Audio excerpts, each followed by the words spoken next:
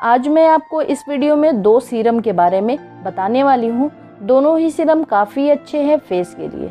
दोनों में क्या डिफरेंस है? कौन सा किसी स्किन के लिए बेस्ट है?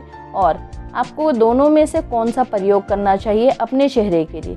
सारी जानकारी दूँगी, वीडियो को पूरा ज़रूर देखें सबसे पहले बात करें लोरियल पेरिस की। ये है लोरियल पेरिस का Revitalift glycolic bright skin brightening serum price और पैकेजिंग देखेंगे तो 15 एम के इस सीरम के लिए आपको लगेंगे तीन सौ निन्यानवे रुपये आता है ऑल स्किन टाइप सुटेबल सभी स्किन के लिए सुटेबल है। वहीं बात करें दूसरे सीरम की तो ये है गार्नियर का skin natural bright complete serum ये भी आता है 15 एम के पैकेजिंग में और इसके लिए लगेंगे आपको दो सौ यानी ये लोरियल पैरिस सीरम से थोड़े प्राइस में कम है और ये सीरम भी ऑल स्किन टाइप सुटेबल है, यानी आपकी स्किन ऑयली है ड्राई है सेंसिटिव है या कॉम्बिनेशन है।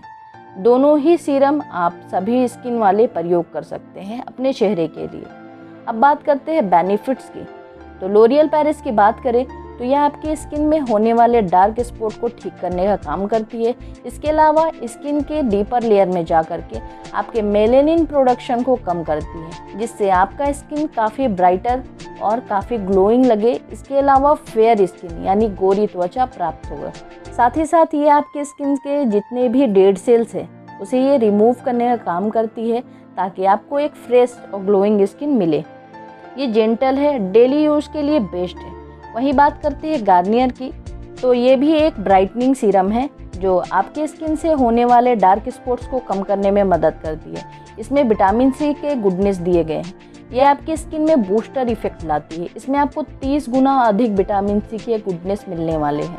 इसके साथ ही साथ ये आपके चेहरे को काफ़ी ब्राइट करती है। कंपनी का दावा है कि तीन दिन के अंदर में आपके जो डार्क स्पॉट्स है, वो काफ़ी कम होने लगेंगे। आप एक बार प्रयोग करके देखें। वहीं लोरियल पेरिस दावा करती है कि एक सप्ताह के अंदर में आपके स्किन पे इम्प्रूवमेंट मिलेगा। आप इसे प्रयोग कर सकते हैं डे और नाइट दोनों ही समय। ये काफ़ी अच्छा है सभी स्किन वालों के लिए। आपकी स्किन चाहे सेंसिटिव हो, ये स्किन वाले भी आप इसे प्रयोग कर सकते हैं। डल स्किन को ये इम्प्रूव करने का काम करती है।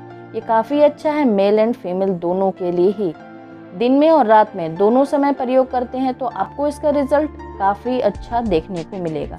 इसके साथ ही साथ बात करें गार्नियर स्किन नेचुरल्स की तो ये सीरम भी काफ़ी अच्छा है। दोनों ही सीरम की कंपैरिजन करें तो गार्नियर का सीरम आपको काफ़ी जल्दी रिज़ल्ट देने वाली है आपके चेहरे के लिए साथ ही साथ ये लाइट वेट है और इसका प्राइस भी कम है।